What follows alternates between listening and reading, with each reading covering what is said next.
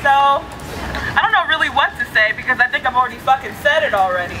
I'm fucking angry. We need to hear it again. I don't know what to say already because I think I already said it already. Okay? I'm fucking angry.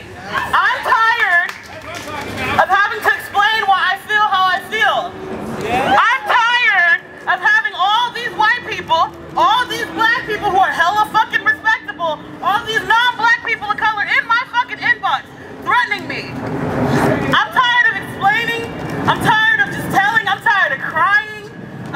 feeling marginalized, I'm fucking tired.